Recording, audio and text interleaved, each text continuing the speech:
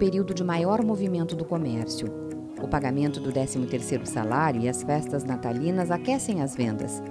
Nas sacolas que vêm e vão carregadas de presentes e desejos de dias melhores, um setor ganha força: a economia solidária.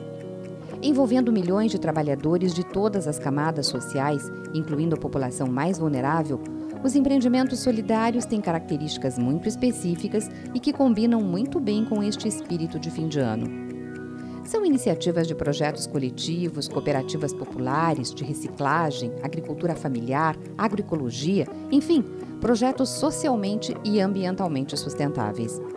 A economia solidária, na verdade, ela corresponde né, à busca de alternativas de trabalho por, por homens e mulheres né, que se veem expulsos desse mercado e que veem na possibilidade de construir alternativas uh, cooperativas, colaborativas, conjuntas, de ter dignidade, de ter condições de trabalhar independente da relação de emprego, né? Porque o que, que, tá, que, que a gente vê né, nesse mundo globalizado, no, no crescimento da, da, competição, as empresas vão se tornando cada vez mais enxutas, né?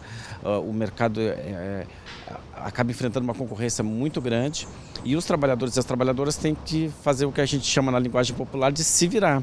Né? A economia solidária ela corresponde em alguma medida a isso. Na sua maioria, são projetos baseados na democracia e na cooperação com destaque para o princípio da autogestão.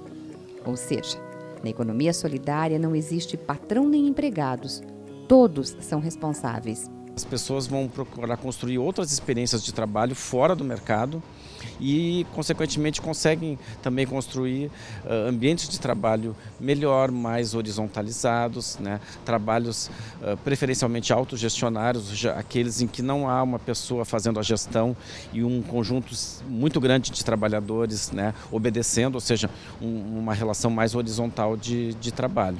A economia solidária está tendo uma importância histórica porque ela faz uh, uma reflexão sobre a forma como se consome, a forma como se produz e para onde que vai o ganho dessa produção uh, que é feita. Então, não só nesse momento, mas em toda a sua história, a economia solidária demarca isso profundamente, mas neste momento também, especialmente, é muito importante isso.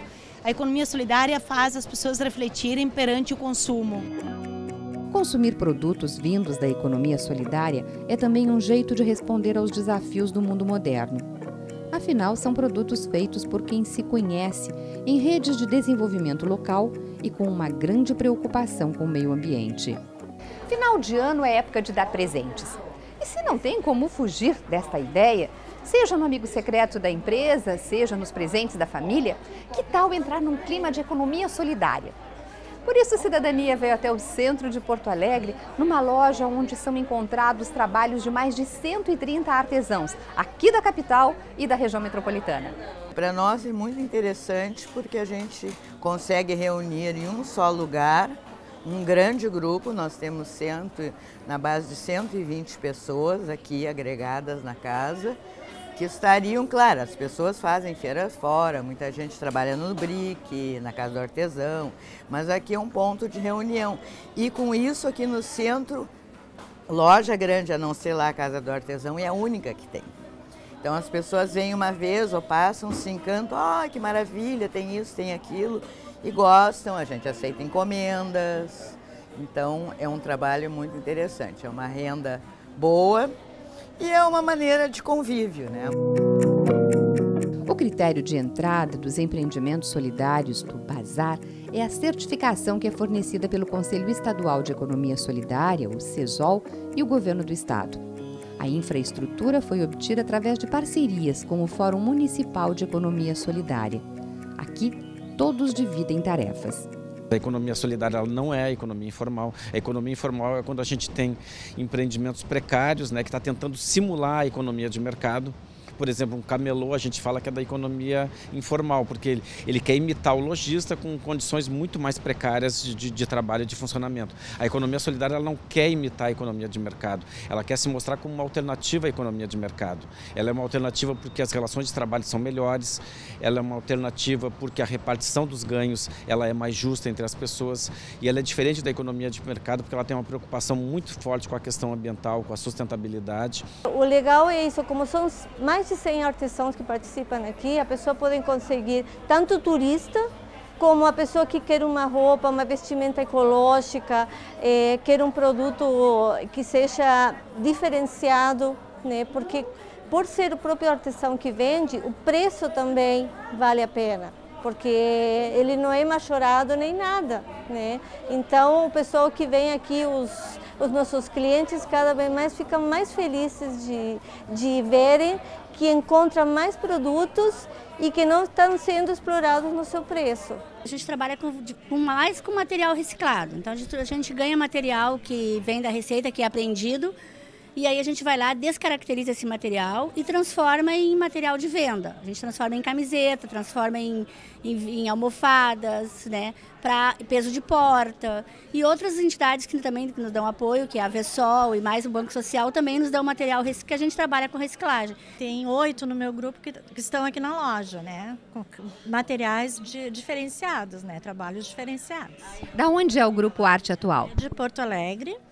E a gente expõe aqui desde o início da loja, estamos todos satisfeitos, né? Um trabalho muito bonito de todos, né? 20 anos eu iniciei esse, esse grupo e a gente tem se entra, sai alguns, a gente vai vai sempre uh, melhorando mais. O Grupo Traços Artesos foi formado a partir de cinco artesãs que já tinham seus grupos privados de produzir um artesanato e a gente se junta dentro de um grupo, participa do programa de economia solidária e nós trabalhamos basicamente com tecidos, feltro e alguma coisa em gesso.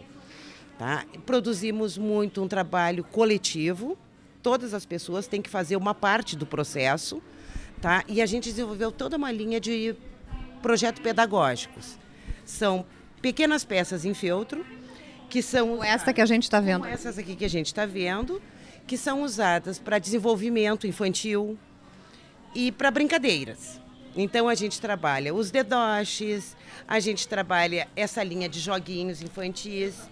Que, jogo da velha. Jogo da velha. Então são bem lúdicos. O gatinho, o coração, as cores. No bazar, localizado na rua Vigário José Inácio, quase esquina com Otávio Rocha, estão expostos produtos de 22 grupos da capital e da região metropolitana. Cada um deles tem de 8 a 16 integrantes. O atendimento é feito diretamente pelos empreendedores. Estão sempre presentes seis artesãos que conhecem bem o trabalho dos demais colegas, pois ali representam solidariamente o trabalho de todos. São seis, mas na loja nós temos três. O grupo é composto de seis pessoas. Como é que vocês se dividem? Quem vem para a loja, quem fica no trabalho? Ah, aqui é todo um esquema muito bem organizado, de plantões, porque a loja é atendida somente pelas artesãs da loja, todos que trabalham aqui, uh, não recebem salário, recebem as suas vendas e todos trabalham. Ajudam a manutenção, a limpeza, uh, fazem, trabalham no caixa, atendimento aos clientes. Todo o trabalho é feito por nós, nós não temos funcionário. Estar na loja de economia solidária, antes de ser um lugar de venda de artesanato, para nós é uma realização de vida e de coletividade. A gente, quando entra para a economia solidária, num primeiro momento se pensa assim: eu preciso ter mais um local para vender, para apresentar meu produto. O que se ganha na economia solidária é uma lição de vida incalculável o trabalho que está por trás daquele empreendimento, não só do ponto de vista ambiental, mas do ponto de vista social, ele é diferente. Ele é um trabalho justo, ele é um trabalho equitativo, o lucro é dividido entre as pessoas, não há exploração de umas pelas outras. O trabalho das pessoas com deficiência, com dificuldade, ele também é reconhecido e valorizado, coisas que a gente não vê né, acontecer no mercado. Então a economia solidária corresponde a uma promessa, a um devir de um mundo diferente que pode ser feito. E ele não é só uma utopia para o futuro, ele é, uma, ele é presente. A economia solidária no Brasil ela é uma força há mais de 20 anos. Né? O cooperativismo na história do, do, capitalismo mundial ele existe há mais de 200 anos. Ou seja, as experiências que estão aí são experiências do presente, que envolvem um número significativo de pessoas, que movimenta um valor econômico realmente significativo. Nesta época também é possível apreciar o trabalho de artesãos de outras partes da região sul em uma feira abrigada por uma grande estrutura no Largo Glênio Pérez.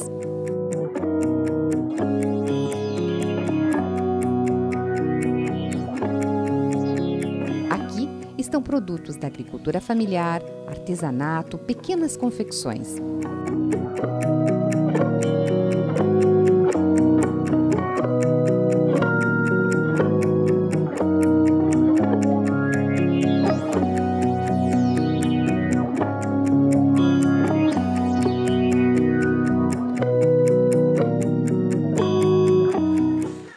No dia da nossa gravação, o pessoal da cooperativa Justa Trama realizava um desfile dos seus produtos.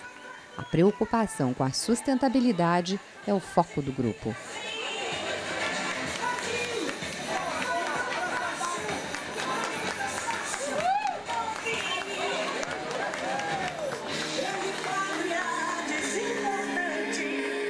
na economia solidária você vai encontrar muitos produtos que são feitos de reciclagem, de aproveitamento do que aquilo que já teria sido abandonado.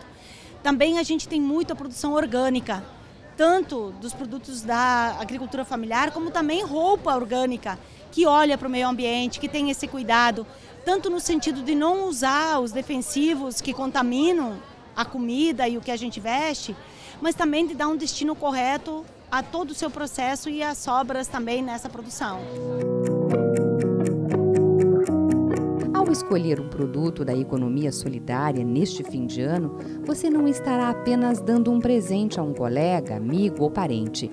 Será também uma maneira de presentear grupos específicos envolvidos nos empreendimentos e, principalmente, incentivar uma alternativa de desenvolvimento.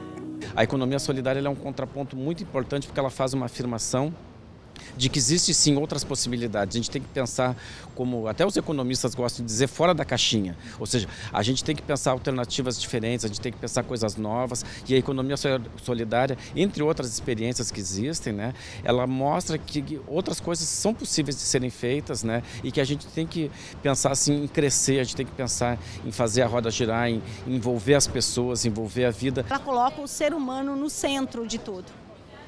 Portanto, então, que o trabalho te realize, que o ganho seja o suficiente para você ter uma vida decente. Quando você não coloca a mercadoria como centro ou lucro, é, você cuida das pessoas, você cuida do ser humano.